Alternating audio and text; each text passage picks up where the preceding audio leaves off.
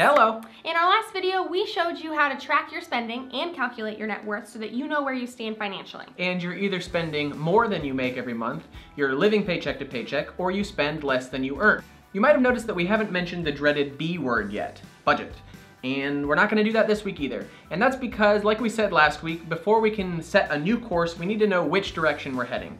And we're gonna start that this week by analyzing our spending. This video is going to be the most difficult to make because we want to talk to you as if you are a friend sitting right in front of us, not like a professional or an advisor. But since we can't physically see your budget, we have to lump everyone together and that kind of makes things a little vague.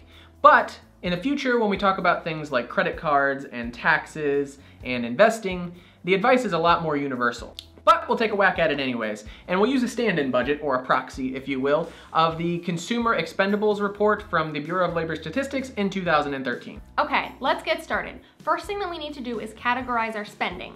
Now Mint does a lot of the heavy lifting by importing all of our transactions, but it doesn't do the best job at knowing where you spend your money. For example, your purchase at the Apple Store might be categorized under groceries because it thinks you bought a pie. No biggie, just click the Transactions button at the top of your screen and you'll see a list of all your charges. Go through the list and make sure every line is categorized correctly. In our experience, you have to change about half of them.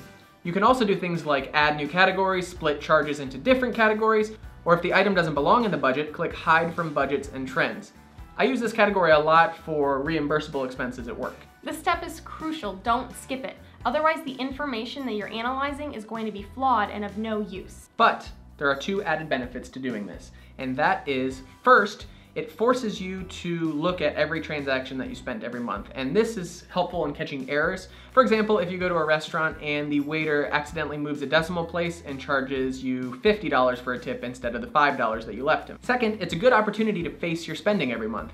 If you see Starbucks on every other line in your budget, it has a strong emotional impact if you're trying to break a habit. For us, this item used to be Chick-fil-A. In 2011, 2012, we probably had breakfast there four times a week and dinner two or three times a week. And we saw it every time we went to go categorize our transactions. It would be, you know, gas, groceries, Chick-fil-A, shopping, Chick-fil-A, blank Chick-fil-A. It was horrible.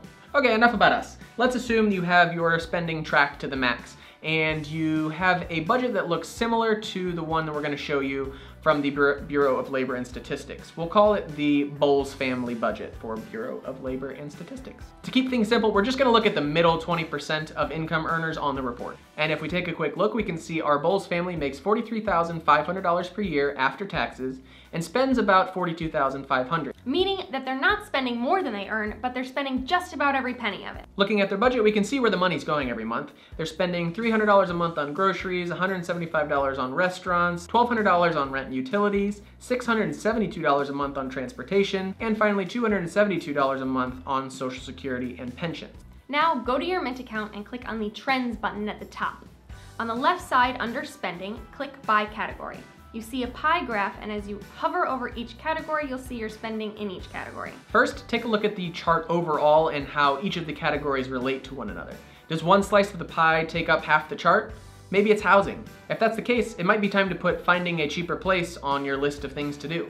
Next, compare your spending to the Bowles family. Where do you spend less and where do you spend more? You'll probably notice one or two areas where you spend significantly more than average. Maybe it's transportation. Or alcohol but hopefully not both. Don't drink and drive, people. These are the areas you're gonna target first when you start to cut your spending. But remember, this is just an exercise in opening your eyes to your spending. The Bowles family isn't the goal. Remember, they're living paycheck to paycheck. To fully grasp how much you're actually spending, a quick trick from Mr. Money Mustache is to multiply each monthly expense by 173. This will give you a quick total of how much that item could be worth in 10 years if you had invested the money instead.